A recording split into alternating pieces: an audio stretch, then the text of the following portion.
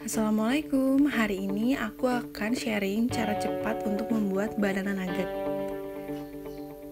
Yang pertama dibutuhkan adalah pisang tanduk atau pisang sesuai selera, lalu tepung terigu, juga tepung roti.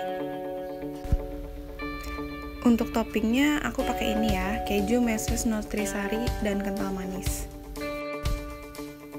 Step pertama untuk cara cepatnya itu adalah dengan langsung memotong pisang dibagi empat seperti ini.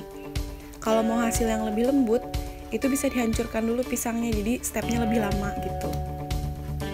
Nah, untuk selanjutnya tinggal pisang tadi yang udah dipotong tinggal dicelup ke terigu yang sudah diberi air, lalu diguling di tepung roti.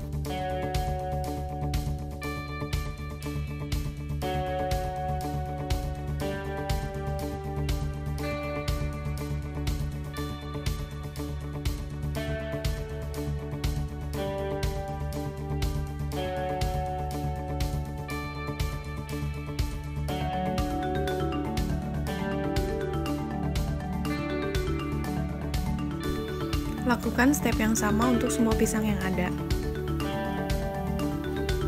Nah, ini yang udah siap digoreng. Nah, ini setelah digoreng dengan api kecil, jangan terlalu besar ya apinya karena dia mudah gosong. Lalu siapkan semua topping, itu bebas ya sesuai dengan selera.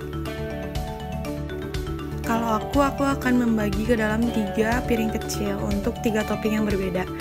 Topping yang pertama, kita kasih kental manis putih plus keju.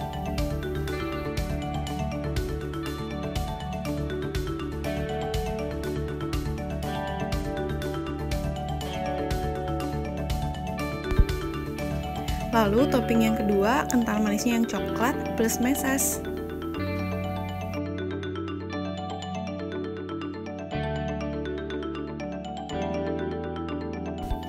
Nah, untuk topping yang ketiga, untuk yang udah bosan sama yang manis-manis, bisa coba dengan topping nutrisari ini. Enak banget, seger asem gitu.